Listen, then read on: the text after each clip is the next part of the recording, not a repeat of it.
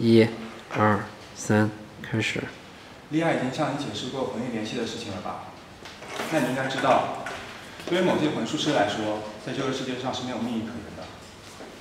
所以，当雪清想向你解释这些敏感的问题的时候，这些防护措施是非常重要的。这么麻烦？